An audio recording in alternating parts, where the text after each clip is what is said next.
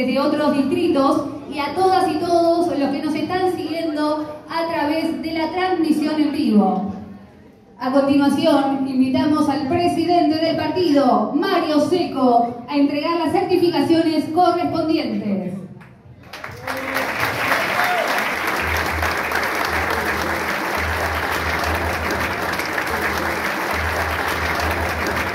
Adrián Barriga.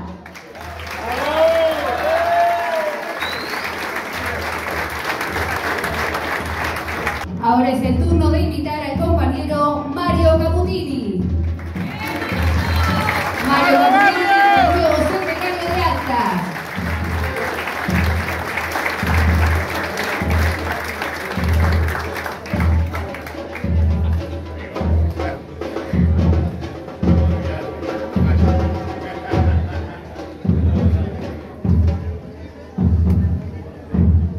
Y ahora invitamos a la compañera Julieta Migueles.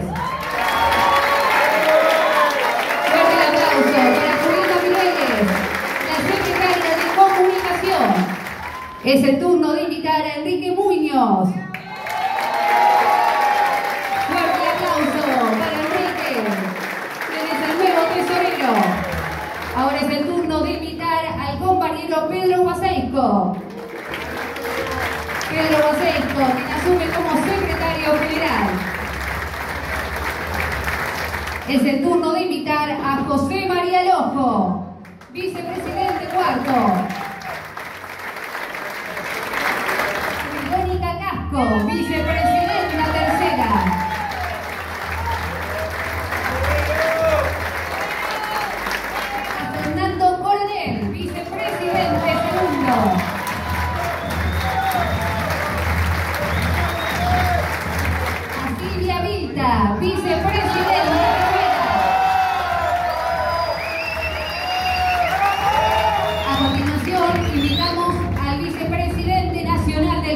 Partido, Eduardo Sigal, a entregar la certificación al nuevo presidente de la provincia de Buenos Aires.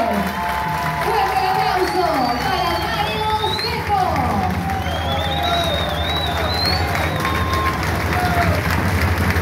Antes de tener un mensaje para la militancia, para todos los compañeros que nos están escuchando también acá por Zoom, eh, quiero decirle lo que ha cambiado este partido.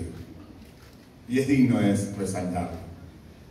Hace ya un par de décadas, Eduardo tuvo la decisión de que juntos volvamos a armar el partido en la provincia de Buenos Aires. Y empezamos a caminar con otros compañeros que también son compañeros históricos del partido, que ayudaron tremendamente para empezar a ordenarlo.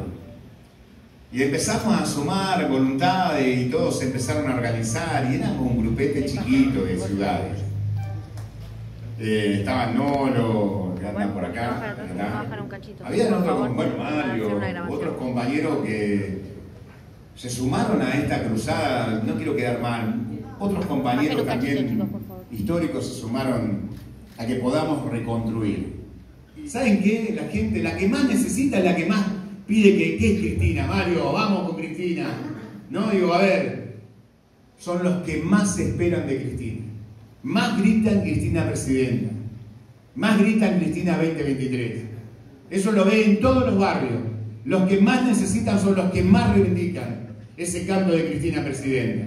Y cuando termina ese coro, que también lo hacen, cuando se ponen de acuerdo la militancia, la gente que canta Cristina Presidenta, ¿saben qué nos dicen los dirigentes? ¿Qué van a hacer ustedes?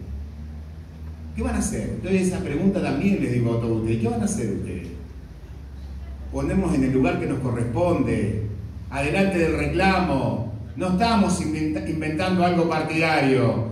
Viene de abajo, cuando viene de abajo es fuerte y no se puede parar. Y nosotros nos tenemos que hacernos cargo de lo que corresponde como dirigentes y ponernos al frente de ese reclamo, compañero. Esto es lo que estamos haciendo cada vez que hablamos en la radio, en la televisión, cuando hablamos